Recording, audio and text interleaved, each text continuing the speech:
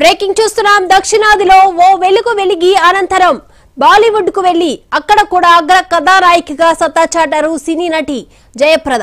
అంతేకాదు యూపీ నుంచి ఆమె రెండు సార్లు సమాజ్వాద్ పార్టీ నుంచి కూడా ఎంపీగా గెలిచారు.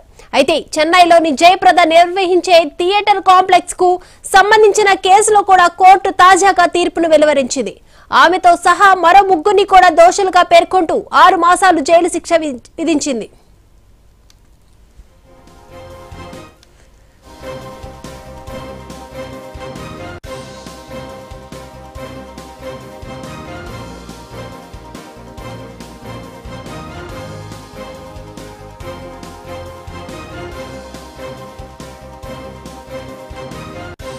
దక్షిణాదిలో ఓ వెలుగు వెలిగి అనంతరం బాలీవుడ్కు వెళ్ళి అక్కడ కూడా అగ్ర కథానాయికగా సత్తా చాటారు సీనియర్ నటి జయప్రద. అంతేకాదు యూపీ నుంచి కూడా ఆమె రెండు సార్లు సమాజ్వాద్ పార్టీ నుంచి ఎంపీగా గెలిచారు. అయితే చెన్నైలోని జయప్రద నిర్వహించే థియేటర్ కాంప్లెక్స్కు సంబంధించిన కేసులో కోర్టు తాజాగా తీర్పును వెలువరించింది. ఆమెతో సహా మరో ముగ్గురిని కూడా దోషులుగా పేర్కొంటూ ఆరు మాసాల పాటు జైలు శిక్షను విధించింది.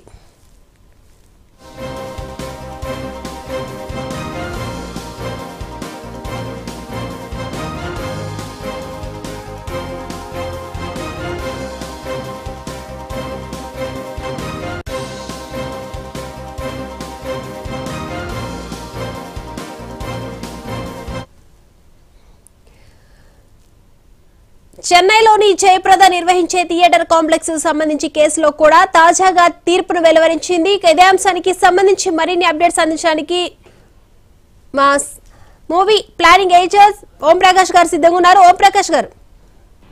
ఆ, దీపిక జయప్రద స్టార్ హీరోయిన్ మాత్రమే కాదు పొలిటీషియన్ కూడాను. అలాగే ఆవిడ చెన్నైలో స్థిరపడి మొత్తం సౌత్ ఇండియన్ ఫిలిమ్సే కాకుండా అటు హిందీ సినిమాలో కూడా చేశారు. అగ్రతారుగా వెలుగొందారు. ఆ తర్వాత యూపీ నుంచి పార్లమెంట్ మెంబర్గా ప్రజలు ఎన్నుకోగా ఆవిడ పార్లమెంట్ కూడా వెళ్ళారు.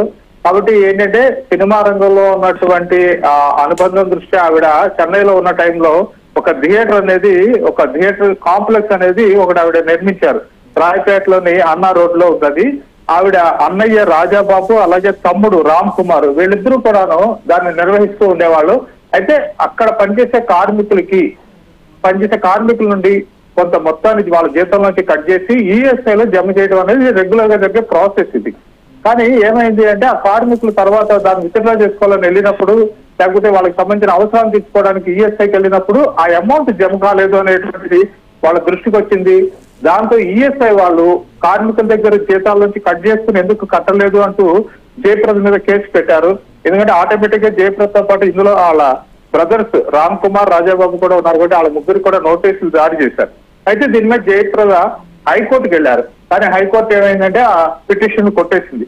దాంతో ఈ కొంతకాలంగా నడుస్తున్నటువంటి ఈ కేసు ఈ రోజు హీరింగ్ వచ్చింది.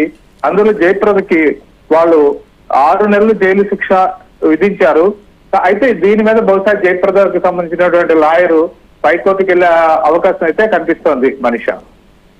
Right thank you Om Prakash garu.